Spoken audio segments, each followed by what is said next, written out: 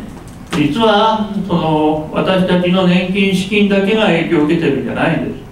郵便貯金、まあ、世界に冠たるですね預金貯金量ですね。これも相当あの影響を受けているはずなんですね、まあ、そういう意味でアメリカなどはですね日本はアメリカを習えこういうふうに言ってますよね、まあ、アメリカというとそのグローバル資本主義で何でもその市場に任せるんだと。えー、強いものが勝つんだと。そういう国に見えますがしかしこのアメリカですらですよその年金をそういう市場運用でやっちゃえと。これはダメですよと。縛りがかかってるんですね。アメリカはその市場で売り買いできない国債を使って、えー、取引をしなさい、えー、国民の財産をこれ失ったらあのどんな政治家でも責任取れません。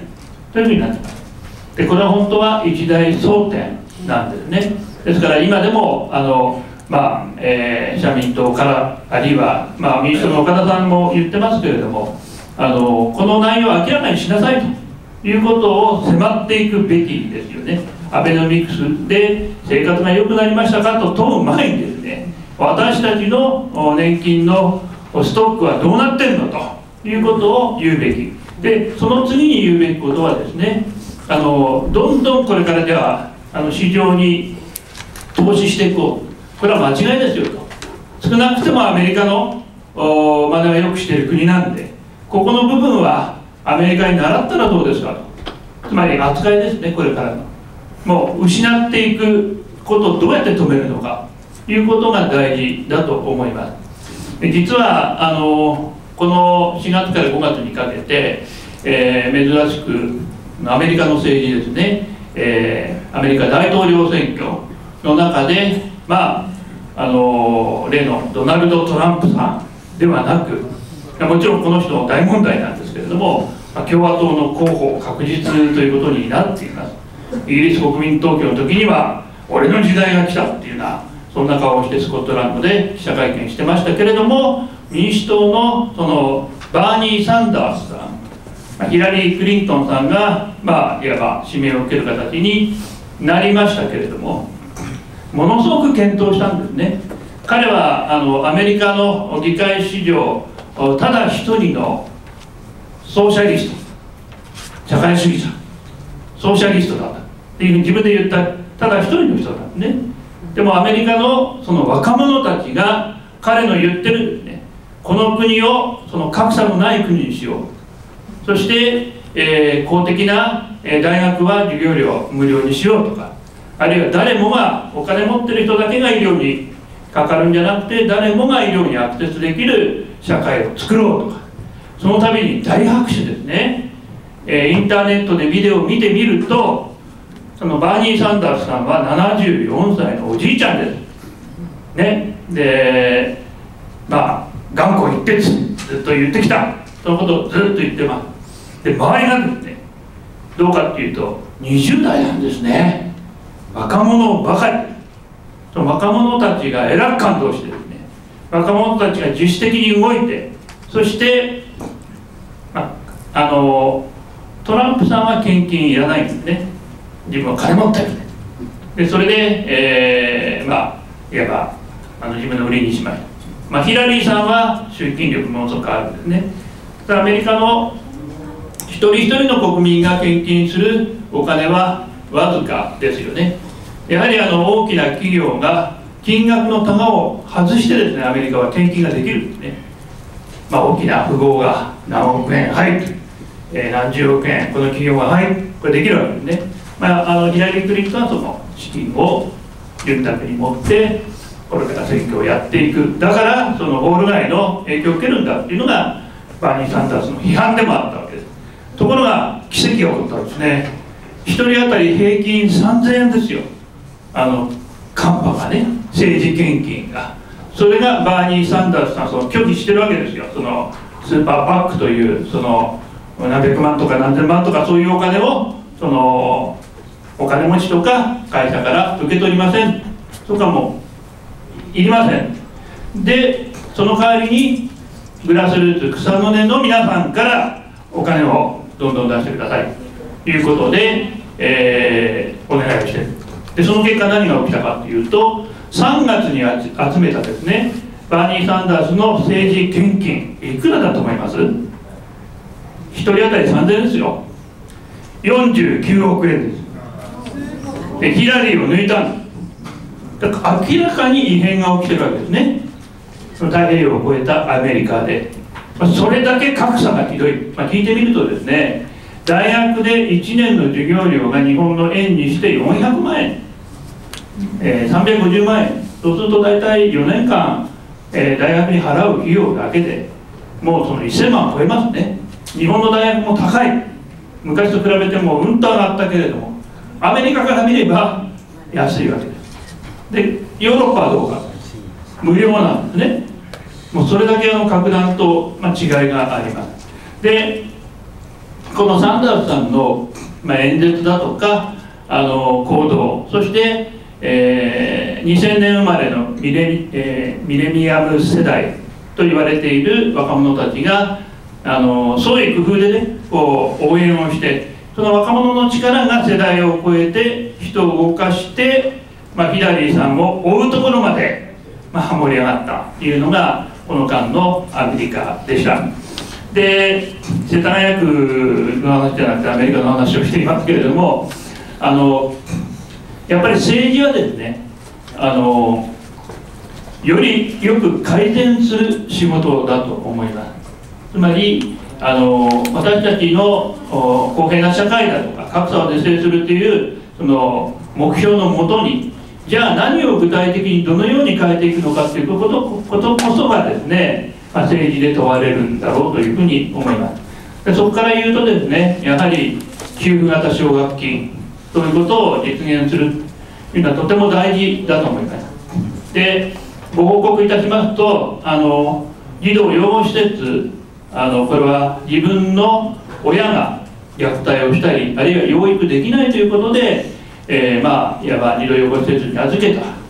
あるいはその児童相談所がそういうふうに判断をしたというところで育ってきた子どもです。18歳になると、まあ、今法律上出なければいけませんね、えー、施設をね。でその時にどんな支援があるのかなというと実はその支援というのは一生に1回ですね。激励金として、最高で26万円が渡されるだけなんですね。したがって児童養護施設を出る子どもたちの進学率大学専門学校については3割しかない。そのうち7割は中退していくんですね。これフェアではありませんね。普通のあの平均的な子どもたちの進学率よりずっと低いわけ。中退率はもうずば抜けて高いわけなのでなかなか一人で学費も払いそしてアパートも借りて、えー、生活して学校にも行って仕事にも行ってできない、えー、そこをあのフェアなスタートにできないだろうかってことを考えて、えー、一つは、まあ、月3万円だけれども年間36万円の給付型奨学金を作りましただからこれはあの世田谷区で5000万円を出して寄付を募って、えー、さらに輪を広げていこうというふうに呼びかけています現在ですねあの約700万円2ヶ月で集まっています、えーまあ、今回は11人の児童養護施設などを出た子たちにその給付型奨学金3万円がいくんですが、えー、もうすでに2年分ぐらいですね11名という規模だと2年分ぐらいの寄付が集まりまたあの1人相当多額にそのお金を出していいですか？受け、えー、どういうふうになってますか？という問い合わせもございます。ですからあのこのあの基金というものがよりこう広がっていきまず給付型奨学金3万円でスタートしてですね、えー、枠を広げていきたいというふうに思っています。し世田谷区が始めたってことがですねやっぱり連鎖反応で国にも東京都にも伝わっていくんですね。これはあの非常に大きなことだと思います。また区営住宅をあの家賃1万円で、えー、その子どもたちに、えー、貸していく、まあ、通常の家賃との差額が当然ありますよね。その部分で、えー、いわば、えーまあ、生活支援、えー、スタートがちゃんとできるように後押しをしていこうということも、まあ、しています。そして、えー、これ自治体があのできることというのは本当にたくさんありまして、まあ、暮らしの本当に神羅万象に関わっているわけですね、えー、子供ということで言えば待機児童の問題、え、大変多い。で、えー、世田谷区では1250人の保育定員枠を作ったんですがそれでも上回ってしまった。ね、で来年の春には2000人超えて作りますけれども果たして大丈夫だろうか。いろいろそこは苦闘しているわけなんですが厚生労働省国の方からですね、えー、まあ、世田谷区も含めて自治体に1人当たり保育士さんが見る子どもの数を増やしてください。で世田谷区は1人当たり0歳児5平米なんだ。国の基準だと3.3平米。これは実は戦後すぐに作られた基準なんですね、えーまあ、そういうふうにこう狭くしたらもっと詰め込めるんじゃないの？こういう案が出てきました。でそれに対していやいやそうではない。むしろ今の日本の企業の働かせ方、えー、働く人の働き方の改革がこれは政府も言ってるんですよ。働き方改革が大事じゃないですか長時間残業が当たり前。これおかしいですよと、えー、やはり